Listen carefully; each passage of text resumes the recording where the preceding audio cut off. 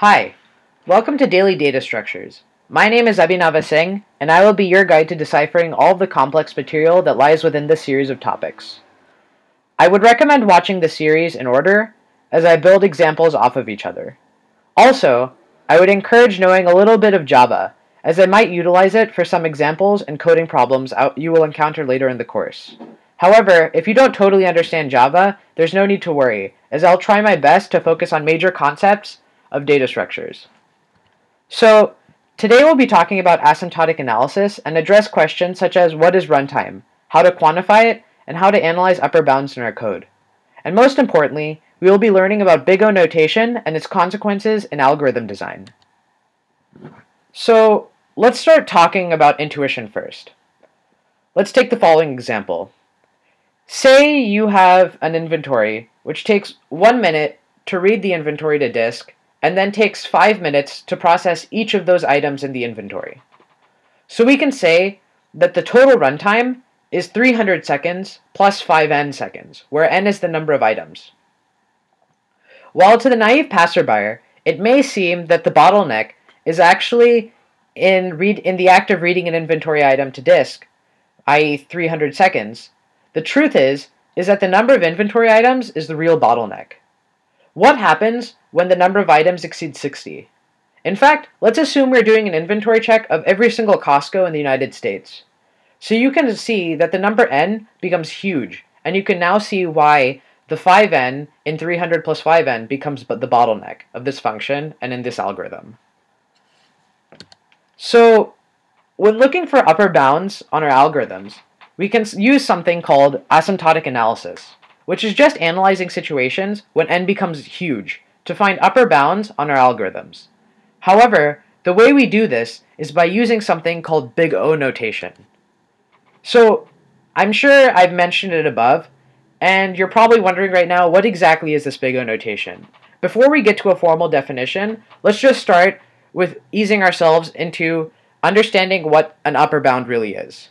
So let's take two functions. Let's say t of n is equal to 20n, and let's let f of n equal 500n. So we notice the following. When n is equal to 0, t is equal to 0, and f is equal to 0. When n is equal to 1, t is equal to 20, and f is equal to 500. When n is equal to 2, t is equal to 40, and f is equal to 1000. So on and so forth as n gets bigger and bigger and bigger. So we can, as we can see, as n gets larger, t and f both increase. However, the rate at which f increases is much larger than the rate at which t increases. So, we can make the following statements. That t, the range of t of n is within that of f of n. We can also say that f of n is the upper bound of t of n, because it's always going to be greater than t of n no matter what n you choose. Finally, you can also say that t of n is in big O of f of n.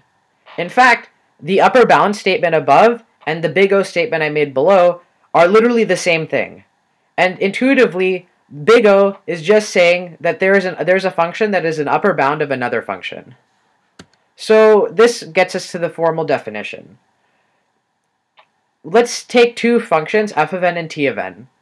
So O of f of n is the set of all functions t of n that satisfy the following condition. There exist positive constants c and capital N, such that for all lowercase n larger than or equal to capital N, t of n is less than c times f of n. I cannot stress how important this concept is in algorithm analysis and in design in general. Knowing this is the base of every single data structure analysis we'll be doing later on in this course. So now let's talk about big O proofs. Let's start with something simple, and then let's we'll start to go on and do a little bit more complex examples as we go forward. So to, let's start with our original example. To prove t of n is in big O of f of n, all you have to do is pick a number c and a number capital N, such that the definition is satisfied. So in our example, we had capital T of n is equal to 20n, and cap and f of n is equal to 500n. So let's let c equal 1 and capital N equal 1. So then we get the following. 20n is less than or equal to 1c times 500n. This follows that 20n is less than or equal to 500n. You can show by induction, or the logic we had above, that 20n will always be less than 500n for all n greater than or equal to 1. Now that we've shown that, that, that satisfies the following definition. So t of n is indeed in big O of f of n. So that was a very simple example. So let's get into something a little bit more involved. Let's let f of n equal to n to the power n. And let's let g of n equal n factorial. So we need to prove that n factorial is in big O of n to the power n. So the, while this seems a little complicated, let's start with just writing down everything we know about these two functions. We know that n factorial is equal to n times n minus 1 times n minus 2 times n minus 3, so on and so forth, times 3 times 2 times 1.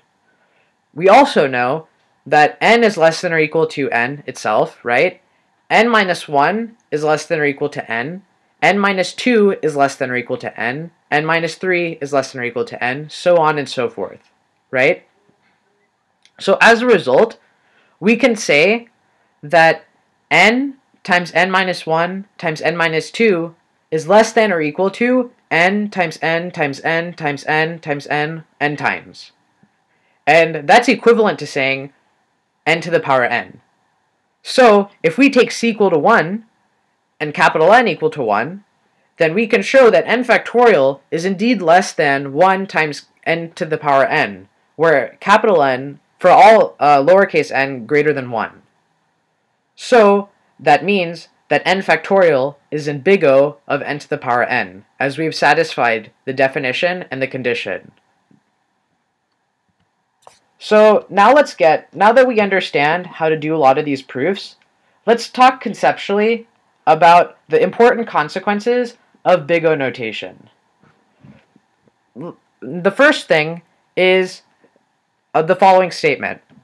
Um, n 10 to the 10 to the 7th times n is in big O of n. This is a true statement.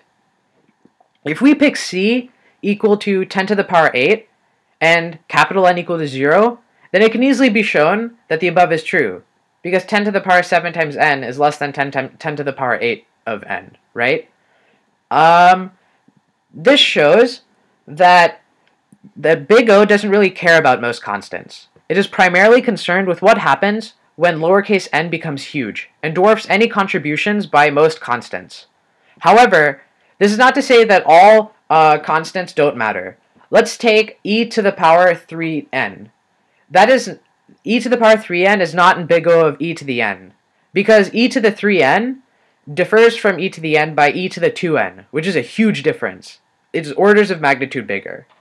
So, not while most constants can be disregarded, not all of them. And for example, constants that are in the exponential or um, other constants, those cannot be disregarded.